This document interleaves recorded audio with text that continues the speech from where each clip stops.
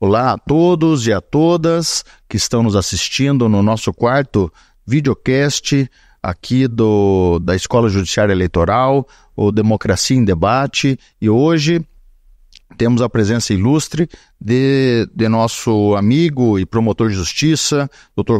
Regis Rogério Vicente Sartori, conhecido como Regis Sartori, e que vem aqui para falar sobre a sua atuação no direito eleitoral e também como promotor de justiça em muitas outras é, atividades que ele tem na, no Ministério Público. Para iniciar, faço a minha audiodescrição. Sou um homem de 1,82m, branco, cabelo grisalho.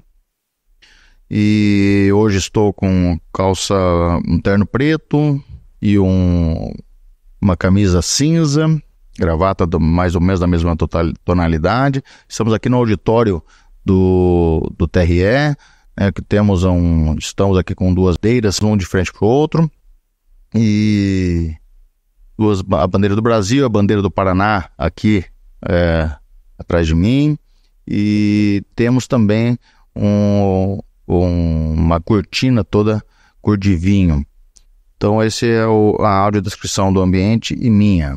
Então, é uma honra muito grande recebermos o Dr. Regis Sartori, que é a, o coordenador da Coordenadoria de Atuação do, do Ministério Público Eleitoral. Isso, né? Sim, é a Coordenadoria das Promotorias Eleitorais. Exatamente. E então é uma honra estar com o senhor e poder aqui dividir a sua experiência conosco é, com os juízes eleitorais, com todos os advogados, aqui o, o, todos os servidores né, do, do tribunal, todos os operadores do direito que de alguma forma atuam na área eleitoral e que tem é, agora, nessa, principalmente nessa, nesse momento de campanha é, municipal de 2024, e para sabermos um pouco da sua atuação e da atuação do Ministério Público nessa fase. E então eu gostaria primeiro, antes de tudo, é, abrir para você fazer a sua audiodescrição e depois nós seguimos com as perguntas. Meu nome é Regis Sartori, sou promotor de justiça, é, sou branco, cabelos castanhos, estou com um terno azul, uma gravata azul também, estou no palco do TRE, junto com o desembargador Anderson Fogaça, e seria isso a minha audiodescrição. Tá certo. É, então, Regis, me permita chamá-lo de Regis, é, qual a, a, função da coordenadoria da promotoria eleitoral? Vamos começar por ali, né? Apresentar, de repente, para quem está nos assistindo, a diferença é, até na, no Ministério Público, porque eleito, no Ministério Público Eleitoral, no primeiro grau, é pelos promotores de justiça. E no segundo grau é feito pelo, pela Procuradoria Regional da Eleitoral, né? Sim, pela Constituição, nós temos o Procurador-Geral da República, nós temos os procuradores regionais, que atuam em segundo grau, e os promotores eleitorais, que estão lá nas suas zonas eleitorais, no seu município, por exemplo, lá em Jaguapitã, em Londrina, Maringá, Cascavel. Lá tem um promotor eleitoral, que é um promotor de justiça. E a coordenadoria do Ministério Público Estadual, que fica aqui em Curitiba, que dá uma, uma orientação que é o elo entre o procurador regional eleitoral, que atua em Curitiba, e os promotores eleitorais.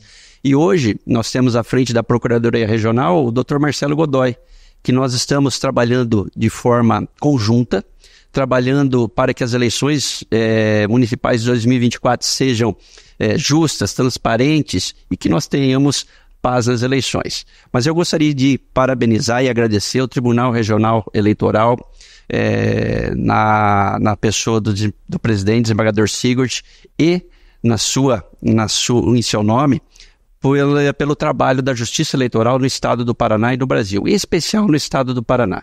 Hoje, em, dois, em 2024, nós teremos as eleições. E a população pode ter certeza que nós teremos uma, uma eleição limpa, uma eleição transparente. E todos os juízes do Estado do Paraná, todos os promotores eleitorais estão preparados para as eleições de 2024. É, é importante dizer que a Justiça Eleitoral, é, junto com o Ministério Público Eleitoral, ele está capilarizado no Brasil inteiro. Da mais longínqua cidade, município, lá do norte, nordeste, do sul do, do Brasil, está a Justiça Eleitoral. E no Paraná também. No Paraná, nós estamos em Curitiba, mas lá na divisa com Mato Grosso do Sul, divisa com a Argentina, né, divisa com o nosso estado de Santa Catarina, nós temos a justiça eleitoral. Nós temos um promotor eleitoral que atua lá para receber as demandas da população. Muito bem, realmente temos, e, e, inclusive você participou como professor do nosso curso aqui da Escola Judiciária Eleitoral para os juízes eleitorais. É um curso que foi feito com um curso de 28 horas online e mais 8 horas de curso presencial, e você participou da fase presencial. Né? Foi, no, foi conosco até Cascavel, né?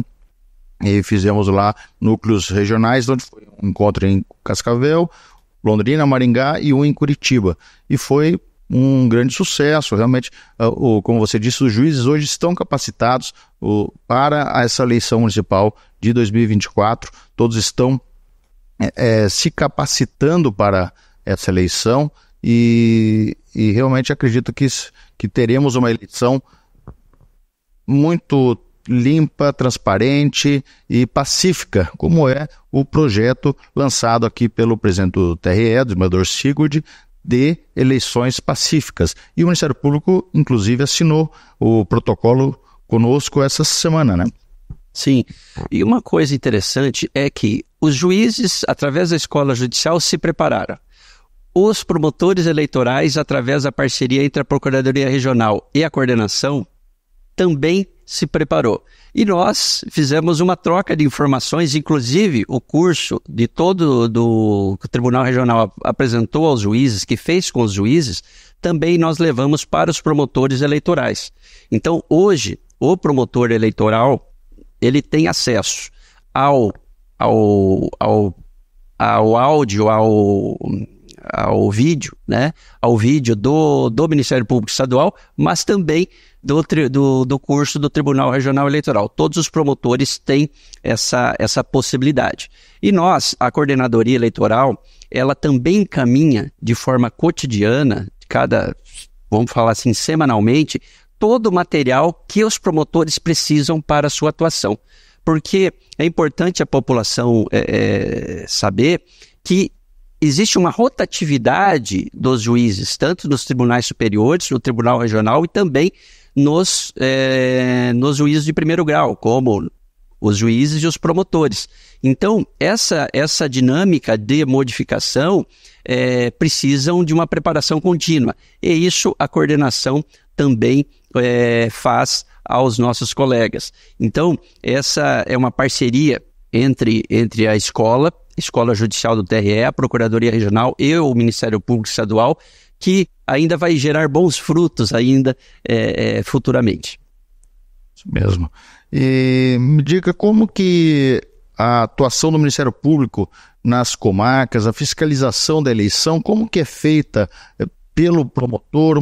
Me fale um pouco da atuação do promotor é, nas comarcas, nas zonas eleitorais, né? A respeito da fiscalização mesmo de uma, de uma campanha eleitoral e como que o cidadão pode auxiliar o Ministério Público nessa fiscalização. Olha, para a população entender, em cada cidade, em cada município do estado do Paraná, lá vai estar presente um juiz eleitoral e um promotor eleitoral, à disposição da sociedade. Esse juiz, esse promotor eleitoral, vamos falar do promotor eleitoral, ele pode receber demandas, tanto de forma presencial quanto de forma online. É, no seu é, telefone celular, no seu computador, você pode acessar a página do Ministério Público do Estado do Paraná, em que lá você tem a possibilidade de um canal de denúncias.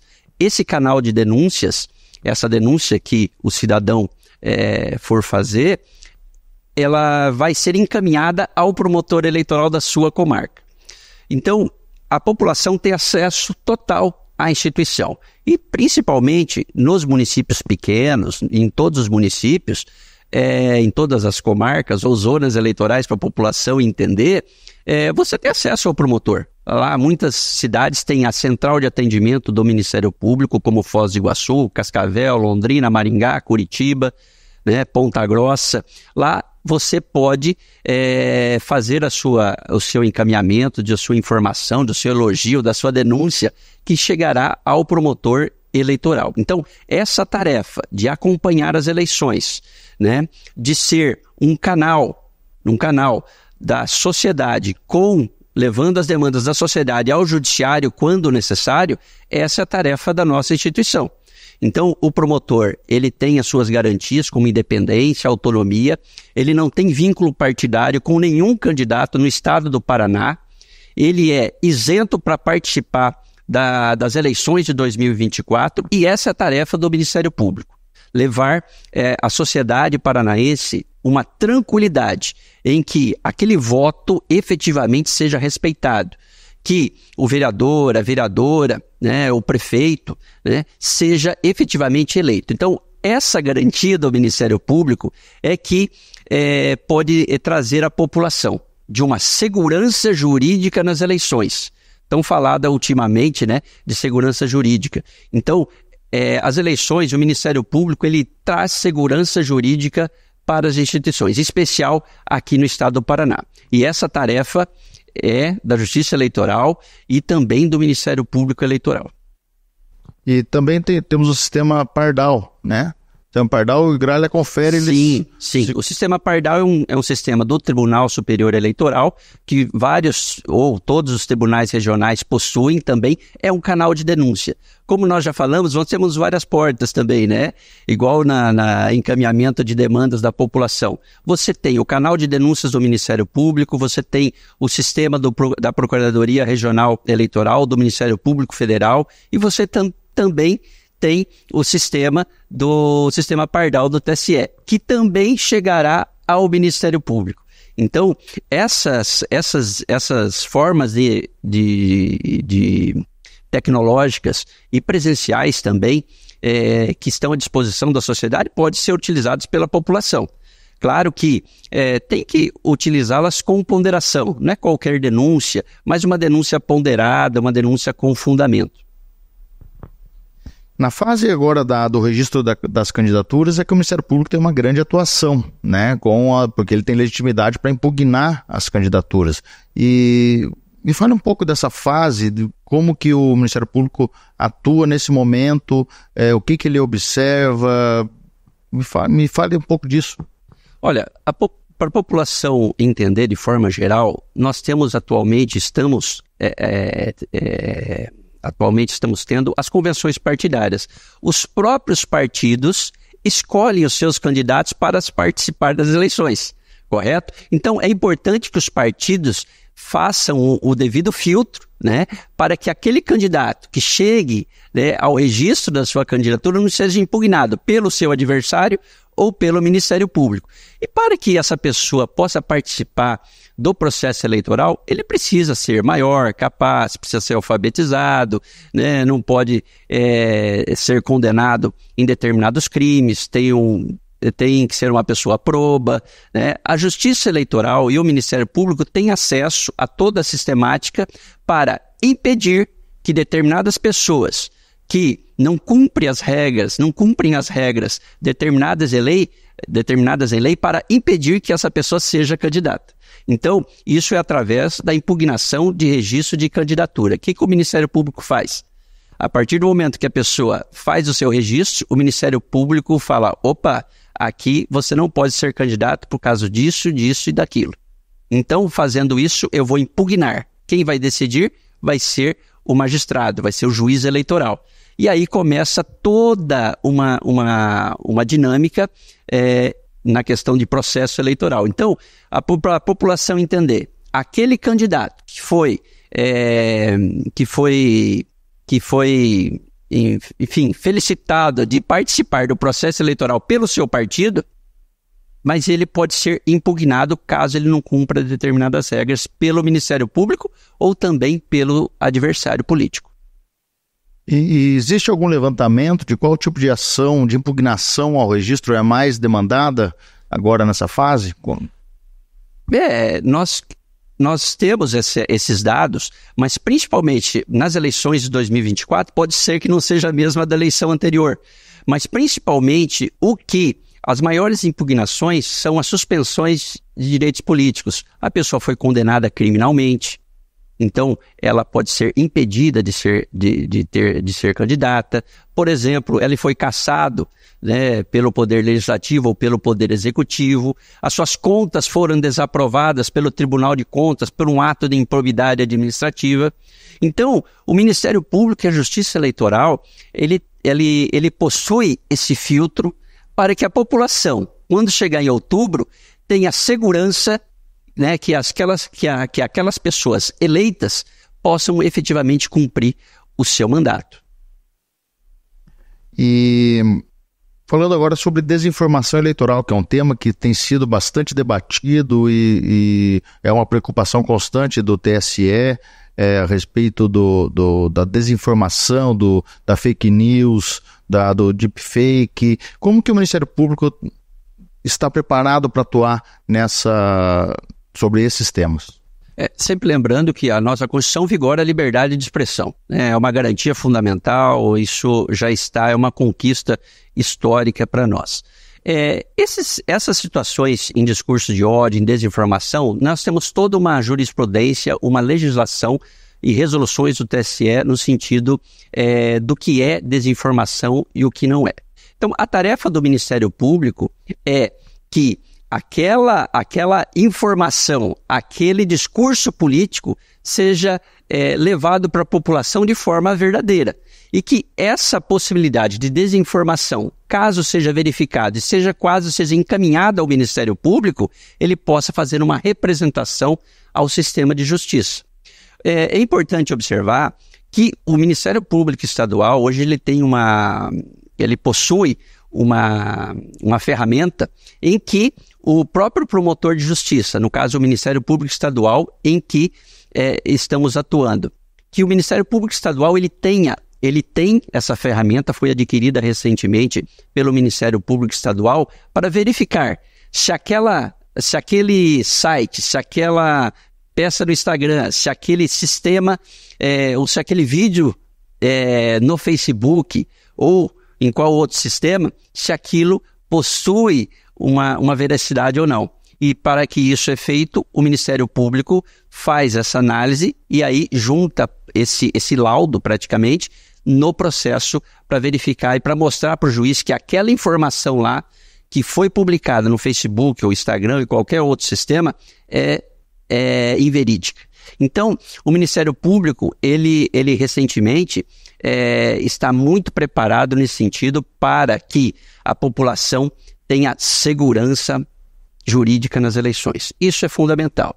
E a população também, é, nós estamos falando de muitas situações de direito eleitoral, mas eu acho que a população também, e nós que andamos pelos bairros, o Ministério Público, que é o Ministério Público que atua em diversos bairros, não só em Curitiba, mas em todas as, todos os bairros de, do estado do Paraná, como Palotina, Londrina e Maringá, a população quer ver propostas, quer melhoria da qualidade de vida da população. Isso é a, a tarefa da instituição, né? atuar sendo aquele, aquela proteção contra notícias falsas, mas que dê tempo para que as pessoas que estão disputando o processo eleitoral levem as suas propostas aos, à população.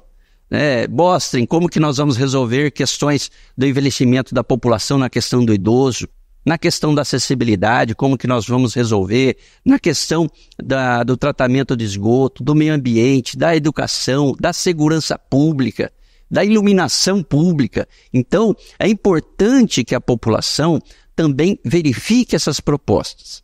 É, eu acho que a, a massa de trabalhadores do Brasil, é, as pessoas que, que saem de manhã para trabalhar e voltam é, no período da noite, é, eles têm a, elas têm a possibilidade de que os candidatos é, levem propostas coerentes da melhoria da qualidade de vida da população. Eu acho que isso que a população quer.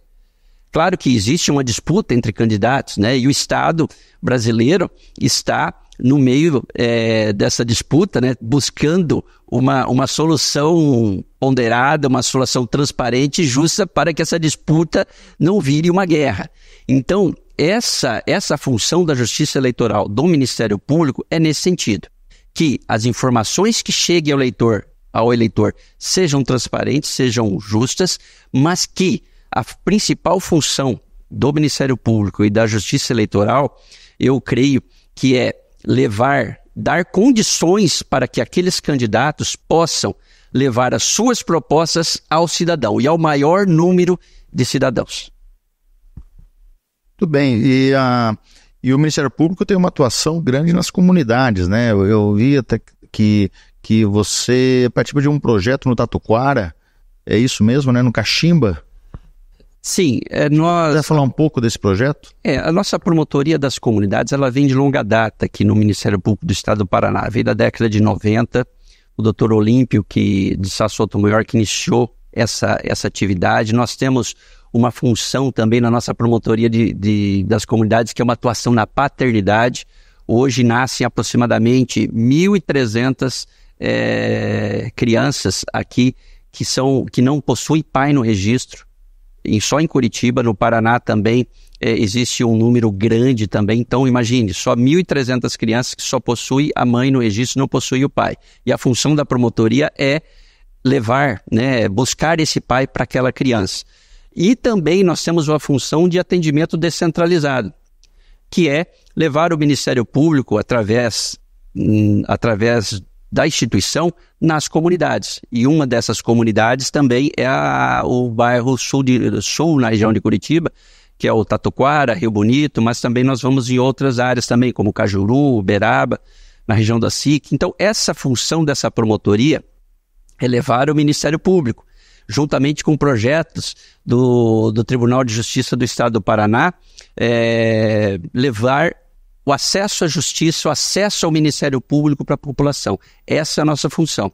E, e no bairro Tatuquara, só para só a população entender, nós vamos lá mensalmente fazendo atendimento lá no CRAS da região do Caximba, onde está sendo construído também um grande, um grande é, bairro lá na região. Então, nós fazemos o atendimento da população no CRAS, que é um, uma, um, um, um órgão, né?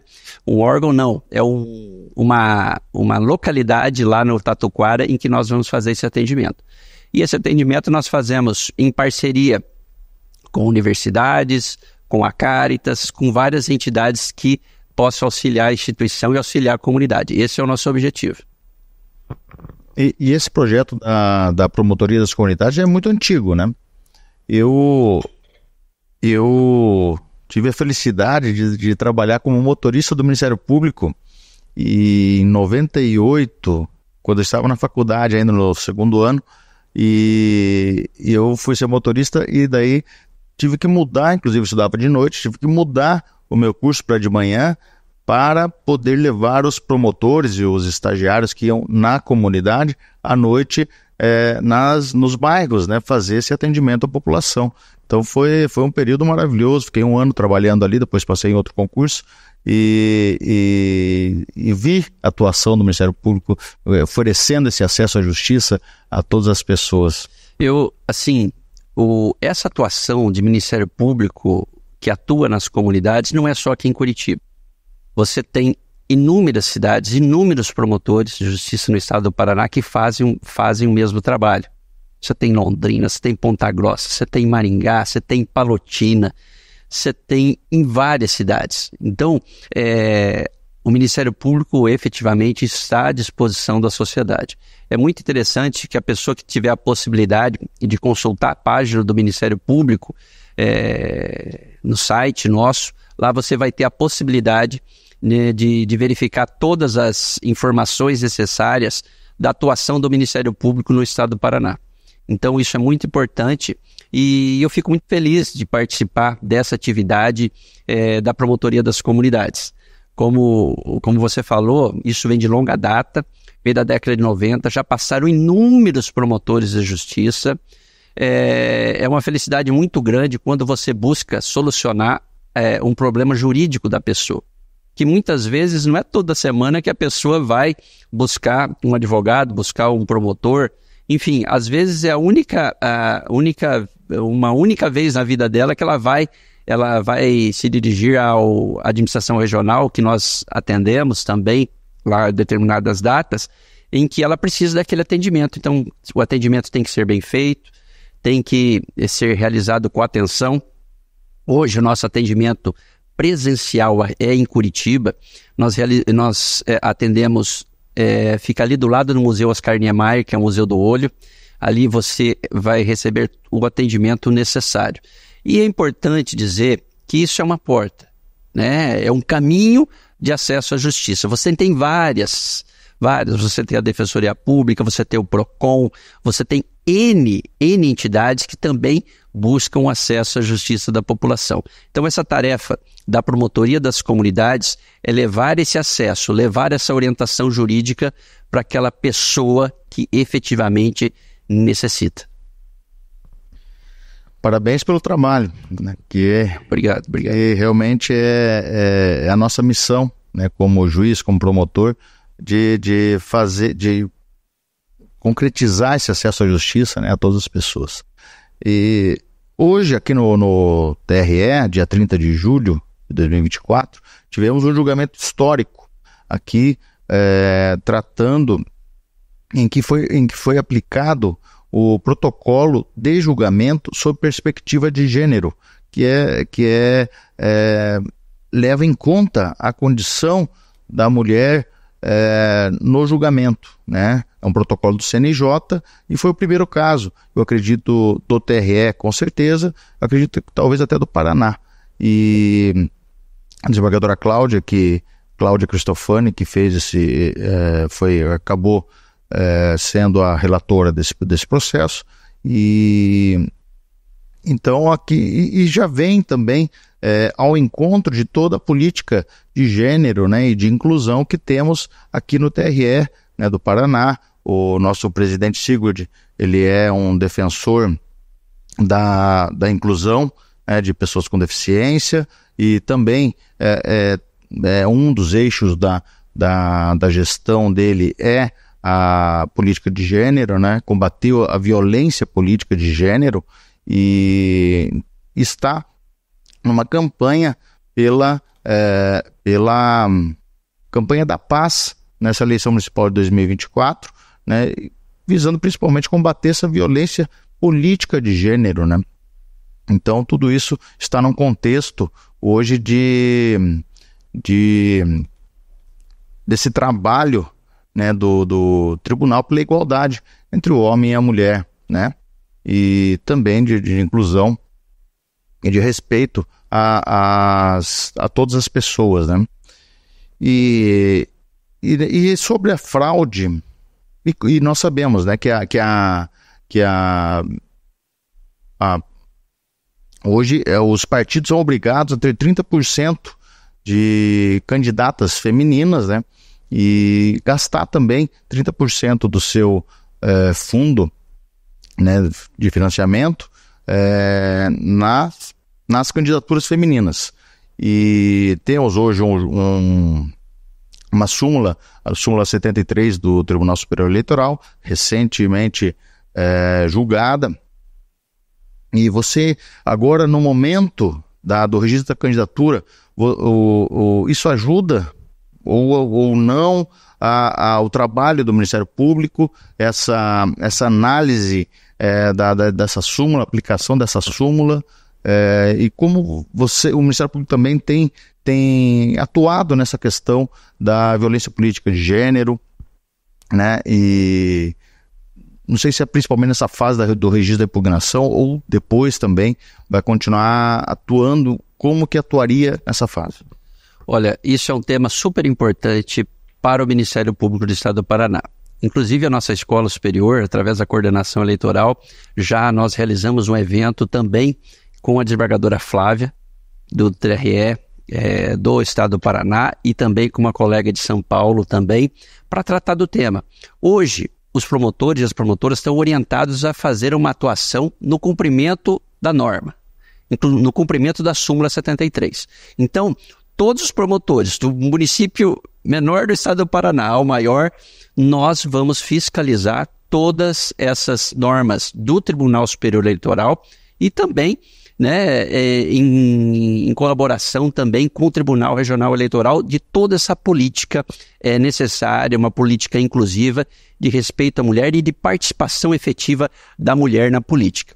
É, inclusive, na nossa coordenação eleitoral, é, sou eu também que faço parte, mas nós temos também a nossa colega, a doutora Letícia Garcia, que também é uma estudiosa do tema na questão da, da igualdade de gênero na política. Então, ela é nossa parceira nessa, né, nesse, nessa demanda.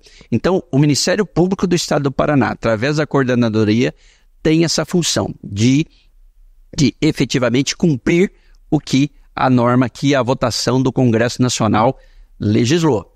Então, uma questão importante também, e que muitas vezes não é tratada, é uma questão das fundações partidárias.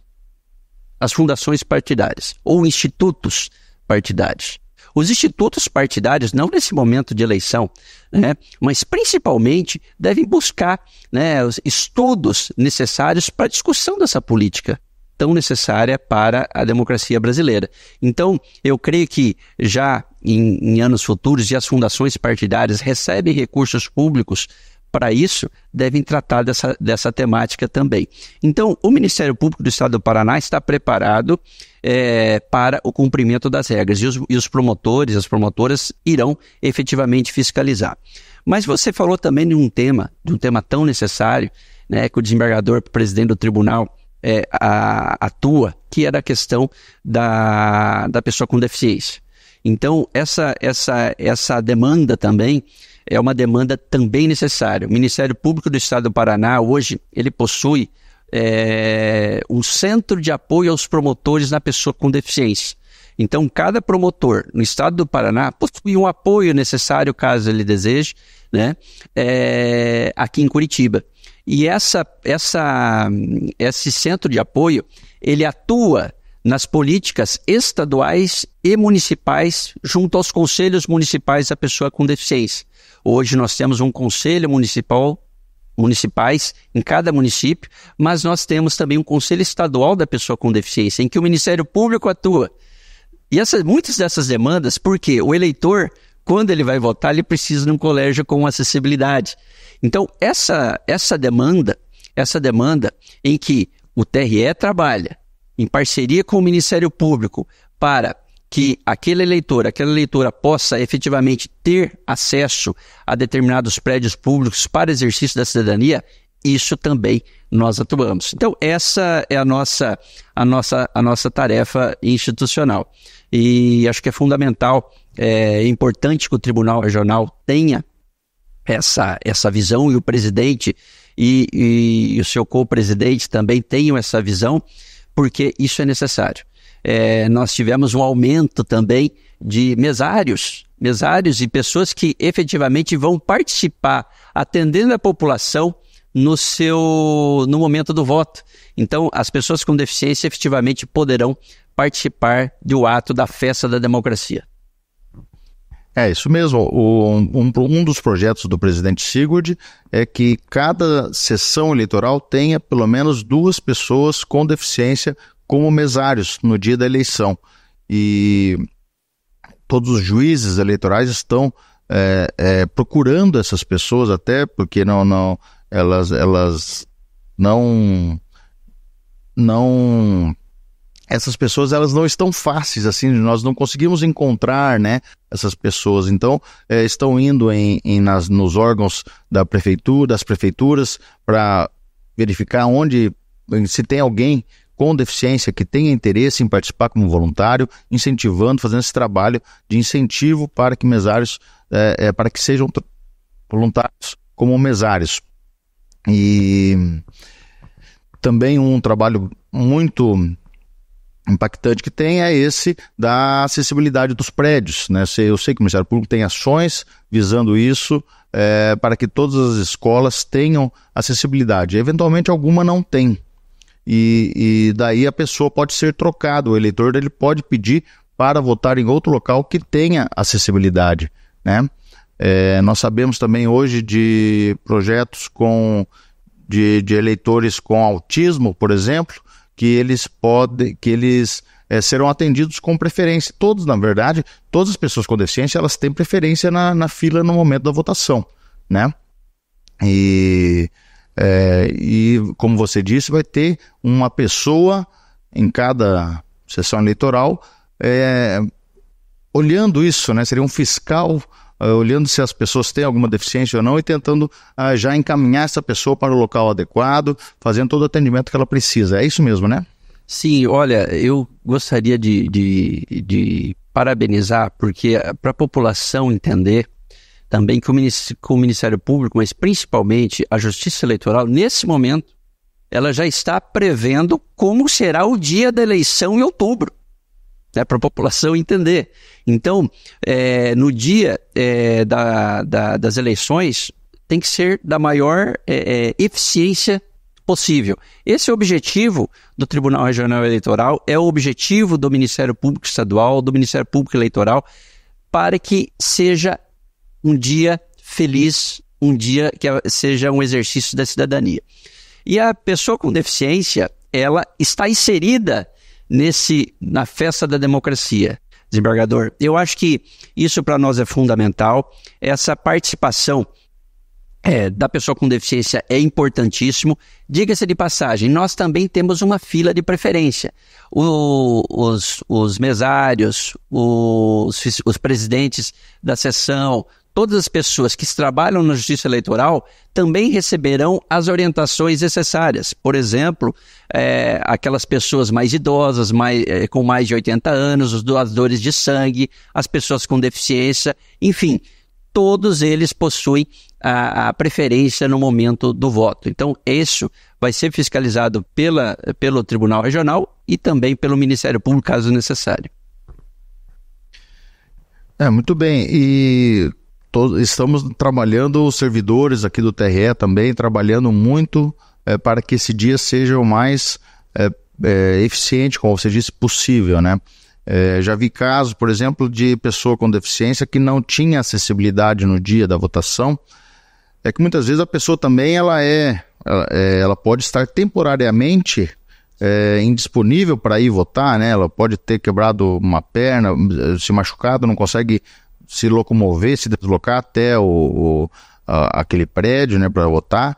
E, e eu, e eu já vi casos do mesário sair da sessão e é, buscar a justificativa apenas porque não dava para levar a, a, a urna né, até a pessoa. Então, foi, é, como ela não conseguia entrar no prédio, o mesário foi até ela, é, fora do prédio, para pegar apenas a justificativa. É uma pena que daí não, a pessoa não conseguiu exercer a sua cidadania, né?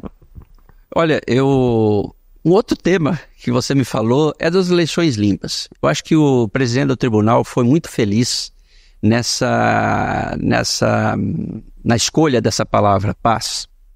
É, para esse programa, para essa intenção de levar a sociedade né, uma palavra de, de paz para as nossas é, eleições de 2024. Eu acho que fiquei, o Ministério Público é, do Estado do Paraná, que acessou e que também assinou o protocolo, também junto com o Tribunal Regional Eleitoral, ficou muito feliz nesse sentido.